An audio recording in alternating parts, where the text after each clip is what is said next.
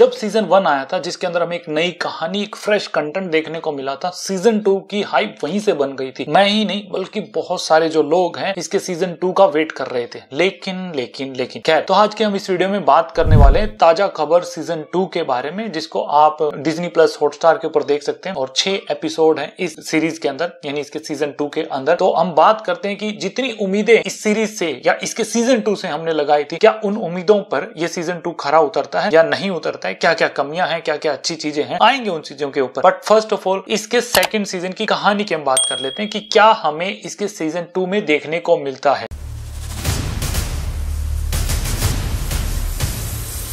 तो जहाँ पर सीज़न वन की एंडिंग होती है, लगभग वहीं से समझ लो कि सीज़न टू की शुरुआत हो रही होती है। वसंत जिसको एक वरदान मिलता है कि वो आने वाले समय में फ्यूचर में उसको पहले ही न्यूज़ मिल जाएगी फ्यूचर की कि क्या होने वाला है, जिसका यूज़ करके वो काफ़ी ज़्यादा अमीर बन जाता है। सीज़न टू में अब ऐसा समझो कि अब उसकी वाट लग गई है। जहाँ वो अमीर बना था, अब उसकी मतलब लंका लग चुकी है। वो बिल्कुल उल्टा हो चुका है। अब वो बिल्कुल गरीब हो चुका है। जहाँ पर सीज़न टू के अंदर उसको घमंड आ गया था, उसने अपने दोस्तों को, अपने प्यार को दूर कर दिया था, अपने आप से घमंड के चलते। अब सीज़न टू के अंदर ऐसे तो रहे नहीं। जो लोग दूर चले गए हैं कम से कम उनको ही वापस ले आए अपना प्यार को वापस ले आए। तो वही कोशिश वो करता हुआ दिखता है। और सीज़न टू के अंदर एक नया दुश्मन मतलब वसंत के पीछे हाथ धोकर पड़ गया है कि जो उसके वरदान से यानी वसंत के पास जो वरदान है जो उससे नुकसान हुआ है ताकि उसकी वो भरपाई कर सके उसी के वरदान का यूज़ करते हुए। और एक नया फीचर वसंत के पास आ जाता है कि अब वो सर्च भी कर सकते हैं। मतलब अब तक तो, तो उसको खुद be खुद न्यूज़ मिल रही थी कि आने वाले टाइम में क्या होने वाला है। अब वो सर्च भी कर सकते हैं कि फॉर एग्ज़ाम्पल कार से रिलेटेड स्टॉक मार्केट से रिलेटेड कोई भी न्यूज़ वो सर्च कर सकता है और भविष्य के अंदर जो भी चीज़ें होने वाली है, उस टॉपिक से रिलेटेड उसको वो न्यूज़ मिल जाती है। काफ़ी ज़्यादा एक इंटरेस्टिंग इशू भी है मतलब इशू क्या फीचर होता है। तो ये सब चीज़ें कैसे काम करती हैं, कैसे वसंत अपने आप को इन प्रॉब्लम से बचा पाता है, एक जो नया फीचर आया है, वो कितनी उसकी हेल्प करता है, इन तमाम सवालों के जवाब के लिए तो देखो आपको ये सीज़न टू देखना पड़ेगा। देखना है कि नहीं देखना है? फ़र्स्ट ऑफ़ ऑल तो ये वीडियो कंप्लीट कर जाओ, फिर खुद डिसाइड कर लेना कि देखें या ना देखें तो ये हो गई सीज़न टू की चर्चा, यानी कहानी की चर्चा। अब बात करते हैं कि इसके अंदर क्या अच्छा है। फ़र्स्ट ऑफ़ ऑल तो देखो यार, मैंने सीज़न टू से बहुत ज़्यादा उम्मीदें लगा रखी थी, क्योंकि यार बहुत एक बढ़िया कहानी थी सीज़न वन के अंदर। तो उस चक्कर में मैंने इसका फ़र्स्ट एपिसोड जो देखा तो एक बहुत एक हाई लेवल पे इंटरेस्ट था। तो डेफिनेटली मुझे वो फ़र्स्ट एपिसोड तो बहुत ज़्यादा पसंद है और है भी वो काफ़ी अच्छा है। और इसके बाद जो इसका एक एपिसोड आता है, जिसके अंदर हमें ये चीज़ें दिखाई जाती है कि वरदान के अंदर मतलब वसंत के पास जो वरदान मिला हुआ है, उसके अंदर नया फीचर आया है कि वो सर्च कर सकता है। जब वो सब चीज़ें और दिखाई जाती है तो इंटरेस्ट लेवल और ज़्यादा बढ़ जाता है। बाकी बैकग्राउंड म्यूज़िक भी अच्छा है सीज़न सीज़न टू के अंदर। और जो भी परफॉर्मेंस है सबकी उन्होंने बहुत अच्छा काम किया है। और जो थोड़ी बहुत कॉमेडी रखी गई है, वो ठीक है, ज़्यादा कॉमेडी नहीं है, लेकिन जितनी भी है, वो वर्क कर जाती है। तो ये हो गया इस सीज़न टू के बारे में अच्छी अच्छी बात। देखो, ज़्यादा कुछ है नहीं। जितनी कोशिश हो सकती थी, मैंने इसमें अच्छी चीज़ें छाटने की कोशिश की है। अब काफ़ी सारे लोग जो फ़ैन है, भुवन बाम के, वो मेरे ऊपर लगने लग जाएँगे, क्योंकि इसके अंदर कमियाँ ज़्यादा है, अच्छी चीज़ें कम है। तो कोई ना, अपना काम है, करने का, करते हैं। तो ये होगी अच्छी अच्छी बातें। अब जो कमियाँ हैं इस सीज़न टू के अंदर उसकी हम बात कर लेते हैं।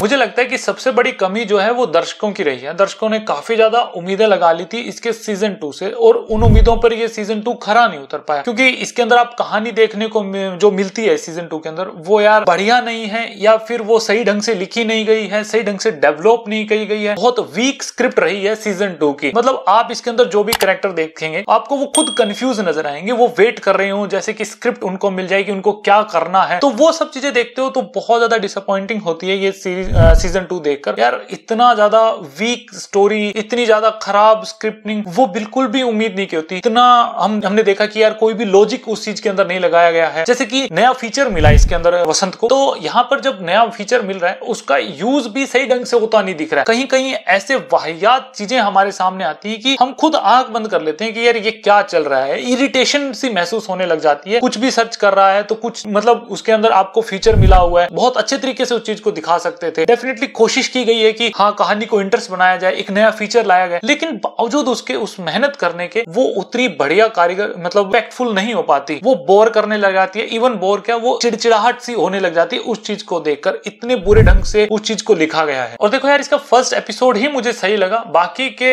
समझ लो कि तीन एपिसोड तक तो मैंने जैसे तैसे काम चला लिया, लेकिन बाकी का जो तीन एपिसोड है, मैंने उन एपिसोड को ऐसे देखा है कि बस मुझे इसकी एंडिंग दिखा दो एंड में क्या होने वाला है। बस, उसके अलावा मुझे और कुछ नहीं जानना, क्योंकि ना ही इसके अंदर कोई ढंग की राइटिंग है, ना ही इसके अंदर कोई ढंग के मुझे डायलॉग लगे। कॉमेडी है, बहुत एक मिनिमम है, और ठीक है परफॉर्मेंस सबकी अच्छी है, लेकिन उसमें कहानी नहीं, बावजूद उसके इसमें कोई ढंग से चीज़ों को डेवलप नहीं किया गया है। वो सारी चीज़ें मिलकर आपको एक तरीके से सर में दर्द कर देती हैं। तीन एपिसोड लास्ट के वो ऐसे लगते हैं कि यार, इनको जल्दी जल्दी निकालो, खत्म करो, वो आपको बोर करने लग जाते हैं। तो ओवरऑल अगर मैं बात करूँ इस सीरीज़ के सेकंड सीज़न के बारे में, एक बहुत वीक स्टोरी के साथ, बहुत एक बेकार से डायलॉग और फाइटिंग सीक्वेंस की अगर बात करूँ तो यार, मुझे यकीन नहीं हुआ, इतने बेकार फाइटिंग सीक्वेंस मुझे देखने को मिल रहे हैं। क्या उनके बारे में बात करूँ? मतलब दो विलन मतलब एक विलन और जो वसंत आमने सामने है, और वो चीज़ जो मैंने देखी है वहाँ पर, यकीन नहीं हुआ कि इतना बुरे तरीके से भी कोई डायरेक्शन कर सकता है, बुरे तरीके से राइटिंग कर सकता है। डेफिनेटली वहाँ पर चीज़ों को लिखना अच्छे से चाहिए था। देखो यार, मुझे खुद बुरा लगा है इस सीज़न टू को देखकर। मुझे इतनी उम्मीदें थी और मैं नहीं चाहता था कि यार ये सीज़न बिल्कुल भी खराब जाए। मुझे मतलब मैंने प्रार्थना भी की थी कि यार ये बढ़िया जाए, देखने में अच्छा लगे, क्योंकि भुवन बाम जहाँ पर यूट्यूब से निकलकर एक अपना नाम कमाया है तो उनसे उम्मीदें मेरी बहुत ज़्यादा थी। तो ये सब चीज़ें देखी तो यार मुझे भी बहुत ज़्यादा बुरा लगा है। गाली गलोच है, बाकी इस सीरीज़ के अंदर बच्चों के लिए तो बिल्कुल भी नहीं है। मेरी तरफ़ से तो देखो, इस सीरीज़ के सेकंड सीज़न को मैं देना चाहूँगा फाइव आउट ऑफ़ टेन अगर आप लोगों ने ये सीज़न का